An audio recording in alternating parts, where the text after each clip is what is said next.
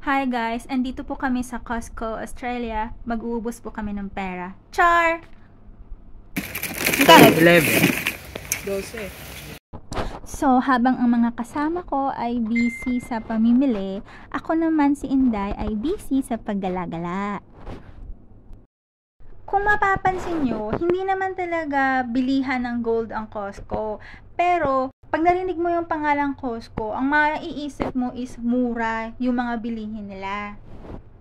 First item po natin ay ang 24 karat buyon of 31 grams. Isa siyang gold cast bar kaya mura.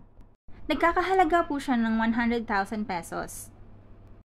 Second item po natin ay ang Tailcast Gold Bar na may 37.5 grams worth 127,000 pesos. Pampaswerteng regalo sa mga bagong kasal at Chinese New Year. Another pampaswerte ay ang ating third item. Isa siyang minted gold kaya medyo mas mahal siya. Ang fourth item ay isang another mint gold bar na may bigat na 50 grams worth 170,000 pesos. Mura, di ba? Pag mas mabigat, mas mahal. Gaya nito. Pero ito yung pinaka-paborito ko sa lahat. 500 grams gold cast bar worth 1.7 million.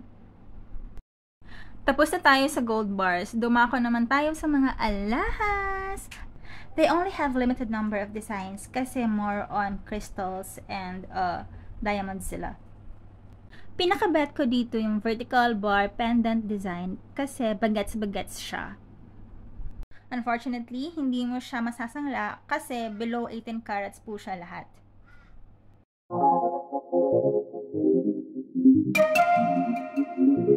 May mangilan-ngilan din silang pendant chain necklace. Gaya ng flat anchor. Meron ding curve link. At ang rope chain. I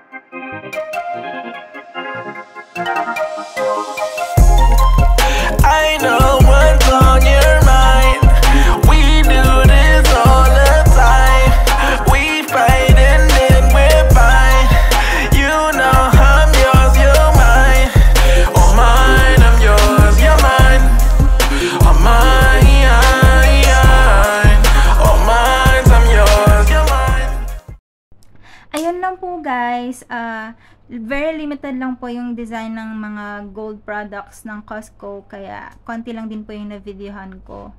See you again on my next vlog. Hahabulin ko po yung mga kasama ko dito sa Costco. Baka umuwi na po sila. Bye-bye!